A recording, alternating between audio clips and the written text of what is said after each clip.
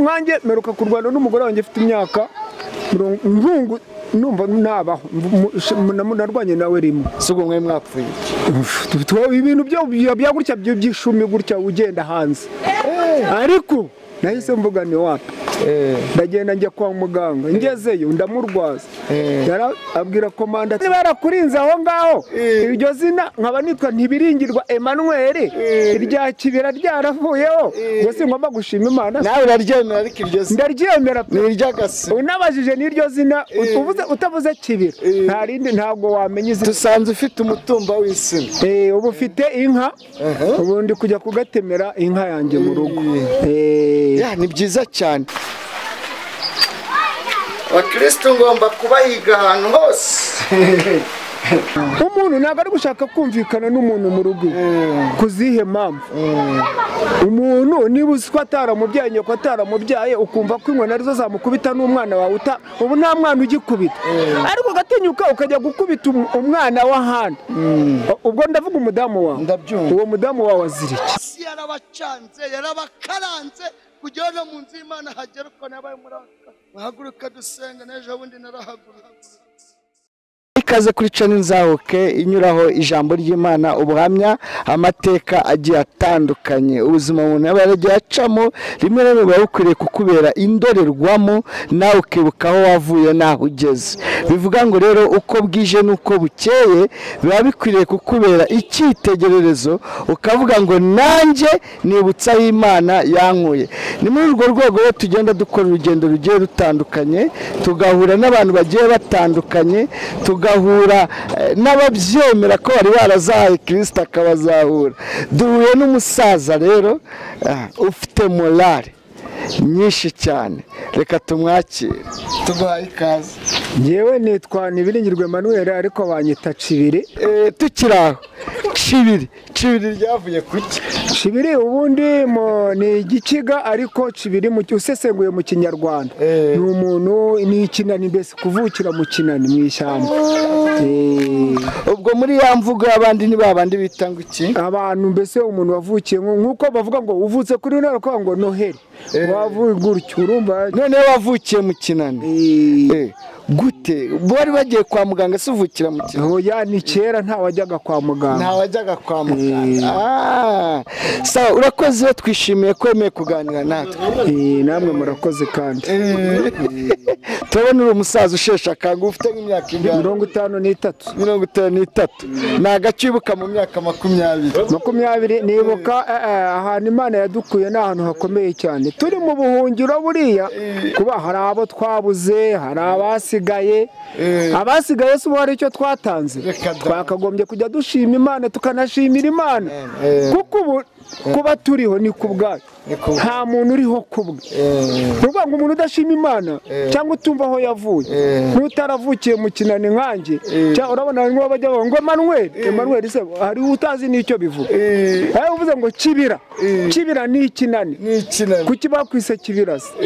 Ni uko nawe urabyumva. Imana iba yakoze aho ngaho ubwo niba yarakurinze aho ngaho. Iryo zina nkaba nitwa ntibiringirwa Emmanuel.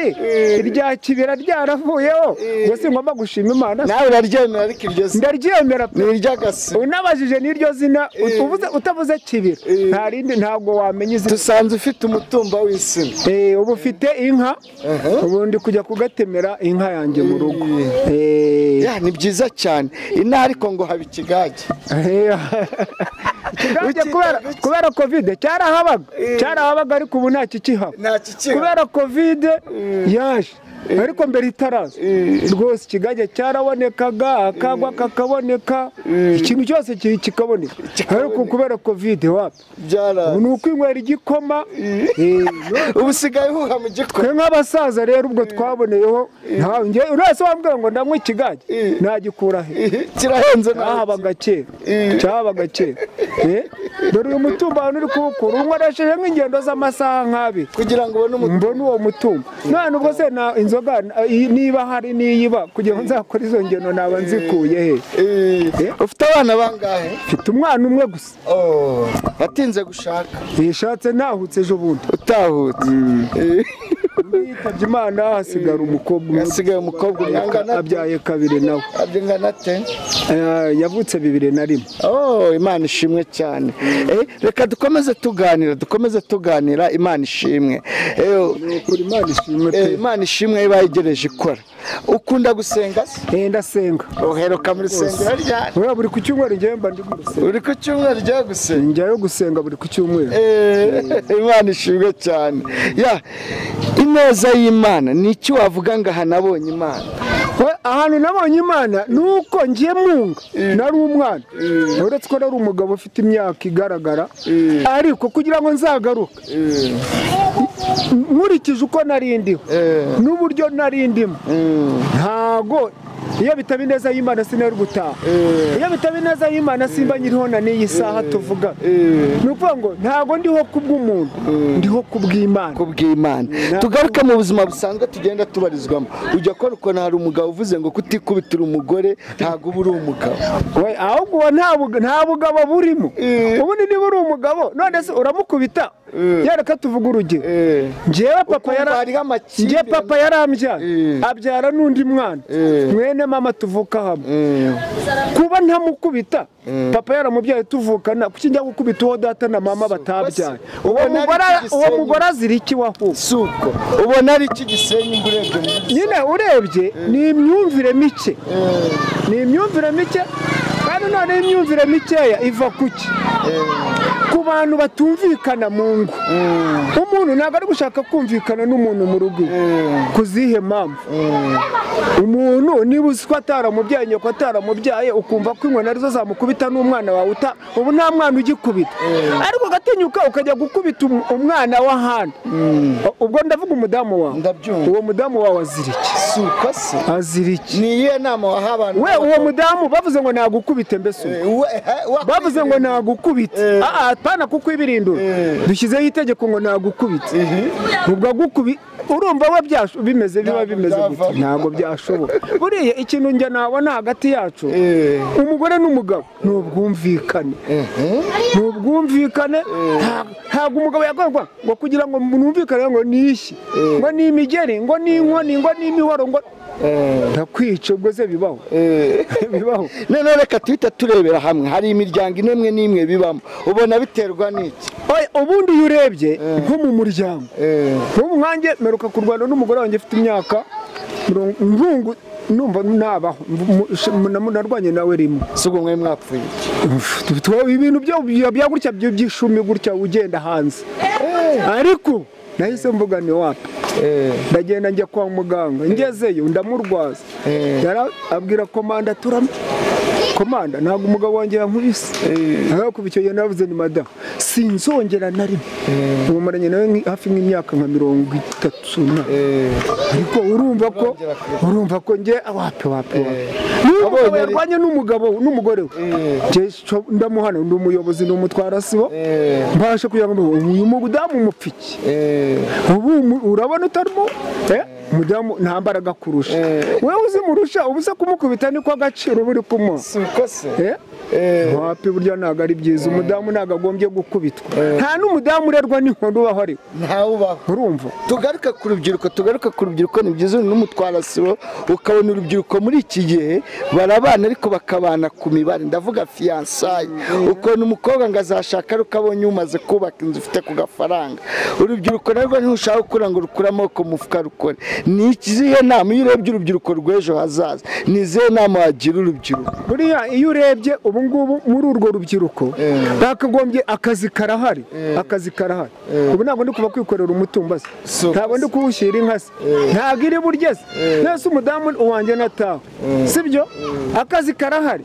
Yagiye nawe mu kazi. Nanjye arasanga nakoze akandi kazi ko mu rugo. Ntabwo uzambwira ngo uri umusore ngo wirwe wicaye mu rugo ngo ugiye gushaka umukobwa ngo nawe ngo azaze yirwe mwicaye mu rugo. Neza muzi ko muzabaho gusa. Muzarya iki? Uri kumva ni wahandi rero usanga bari gushwana mu rugo. Wiriwe wicaye aha nanjye niriwe nicaye aha. Ntacyo wakoze nanjye mwese kandi muri kwitana ba mwana kandi mwese byaruha buriya rero urubyiruko rw'ubu inama narugira amabaka arahari imishinga irahari. Icyo wakora cyose wagenda bakakuguriza amafaranga rwose. Umusaza nta kuntu atita ku rubyiruko. Nta gihe adahwema kubivuga buri gihe cyose. Eh, tugaruke rero mu bijyanye no gusenga. Umbwije ukuri wambwiye ngo ugiye gusenga. Njya gusenga usengera. Ngenda umukatolika aha ni iyihe ndirimbo uzi? Eh? nta n'imwe. ndagufashe weya nagufashe Eh, Eh, none se? Uyu ni umuhanzi. Eh. ugira ngo umumutunguye ngo hita uririmba atabanje gutekerezaho? Kugira ngo yahita ari akanya. Ni ya yindi ko? Ni ya yindi. Niba uhoraho hari amahoro yawe. Niba uhoraho hari ibyishimo byawe. Komeza inzira watangiye wicika intege. Wahisemo neza nyagasani turi kumwe. Aha. Aleluya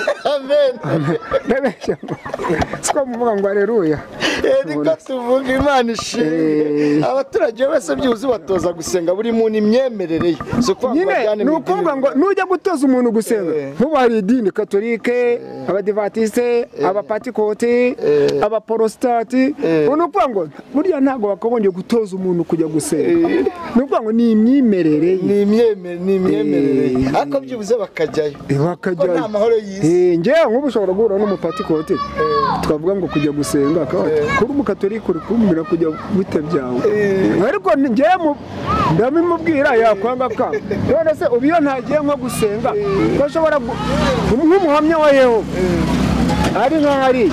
Ushobora kugenda nkicarana nawe nkasenga hose si ugusenga imana. Se gusenga hose ni ugusenga. Urambwiye ngo uwo mutumba ugiye kuwukatira inka ngo ukuye kure ukoze ibirometero cyangwa aho ari hose waba ukuye. Ariko ikizima ni uko ukunze urugo rwawe urukorera ari na byo byari bikwiye. Kuko amakimbirane akenshi na kenshi ava mu kumwe umwe ayateranya undi mu mirimo ndetse n'ibindi. Bikagenda bihagurukira aho ngaho. Turagushimiye kubana nawe ukatuganiriza. Inama uhaye urubyiruko byose biratunejeje. Ndashaka gusura mu rugo nkagutwaza no kuri uwo mutumba ukabona ukuntu Yesu agira neza ni nabwo bwa mbere uraba uhuye n'umupasiteri ugutwaje umutumba. Hari uwo wigeze ubona ni karibu ni karibu. Reka kugutwazaho umutumba ariko ubwo ku cyumweru uzaza gusenga iwawe.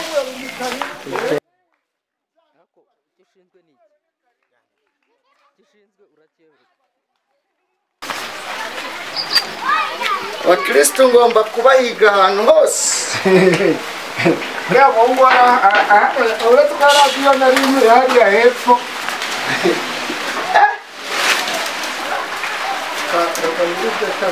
si bwo bwa mbere umupasiteri agutwaje umutungo ubwo urumva imigisha yose nyatiye muri uru rugo ariko ubwo niza nawe uzakomeze ukorera imana uzayegere imana iguhe umugisha mwinshi mu izina rya yesu. Amen. Reka dukomeze. Eh, mwebwe mwari mudukurikiye turabashimiye n'umugabo duhuriye mu nzira twari turi mu ivugabutumwa tugenda duhura n'abaturage hagiye hatandukanye.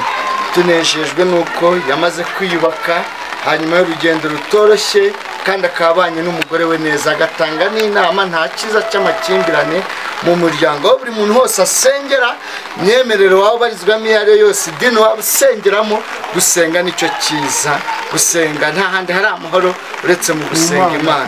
Mu kwegera imana. Turabibashimiye rero dukoze n'igikorwa cyo gukomeza kumwereka ko natwe abapasiteri dukora imirimo yindi isanzwe y'ivugabutumwa. Imana ibahe umugisha namwe mudukurikiye. Ndagusaba utarakora subscribe kuyikora natukura hakora akazogera kaza nako kakora ukaba ubaye umwe mu bazajya babona videwo zikigeraho imana iguhe umugisha. Umugisha dusabye ku rutundi nuko twazabona mu bwami bwo mu icyumweru no ku cyumweru tuzaba turi Eh, amen.